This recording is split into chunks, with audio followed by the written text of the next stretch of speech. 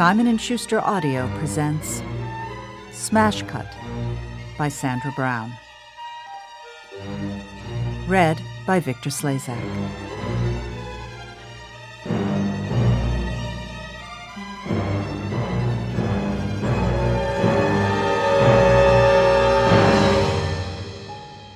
Prologue A delicate ping announced the arrival of the elevator. The double doors opened. Inside were three people two middle aged women who chatted in the manner of established friends, and a thirty something man with the stressed out bearing of a junior executive. He shuffled back to make room for the man and woman waiting to board. They smiled pleasantly as they stepped in, then turned to face forward. The elevator started its descent to the hotel lobby. The five passengers reflected in its brass doors. The couple stood elbow to elbow in companionable silence.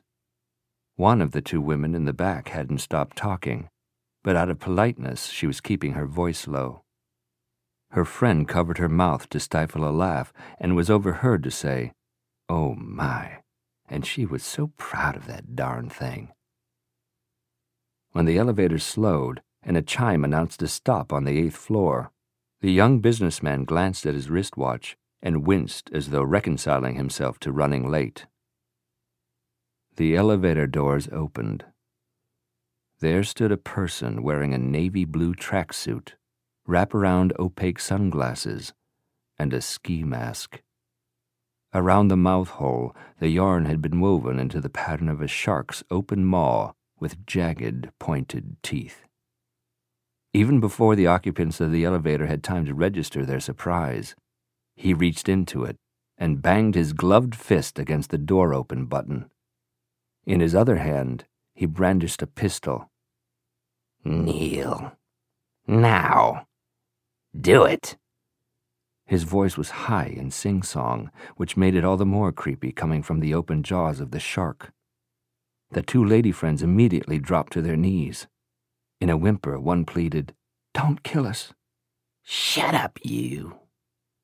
He jabbed the pistol toward the businessman. On your knees. The young professional raised his hands and dropped, leaving only the couple standing. Are you deaf or what? Get down. The woman said, He has arthritis. I don't care if he's got polio. Down on your fucking knees. Now. One of the women in the back wailed, Do as he says, please. The gray haired man clasped the woman's hand as he went down on his knees with evident discomfort. Resentfully, the woman did likewise.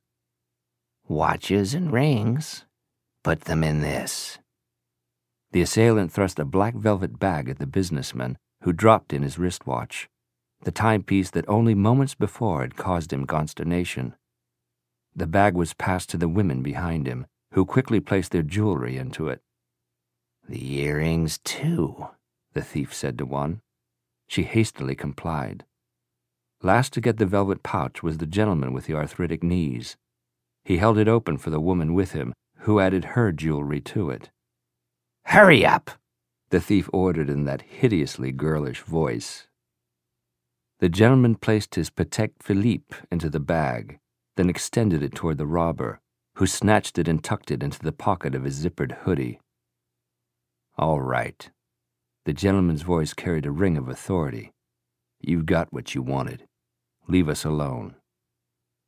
The pistol blast was deafening. The two middle aged women screamed in terror. The young businessman cried out an expletive in a shocked, raw voice. The woman with the gentleman gaped in soundless horror at the blood spatter on the elevator wall behind his crumpling form.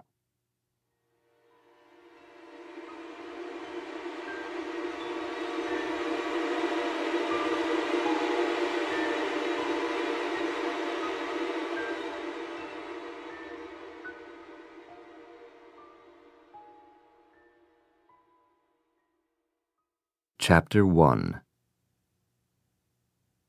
Creighton Wheeler stormed across the bluestone terrace, whipping off his sun visor and making a swipe at the sweat streaming down his face, then, without breaking stride, angrily tossed the damp towel and visor onto a chaise.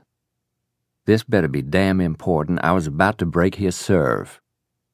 The housekeeper who'd summoned him from the tennis court was unfazed by his temper. Don't you take that tone with me. It's your daddy wants to see you. Her name was Ruby. Creighton didn't know her last name and had never bothered to ask, although she'd been in his family's employ since before he was born.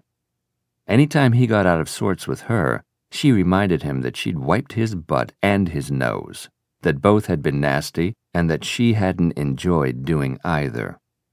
It rankled to think of her being that familiar with his person even when he was a baby. He brushed past her 300 pound bulk and crossed the industrial sized kitchen to one of the several refrigerators, yanking open the door. Right now, he said.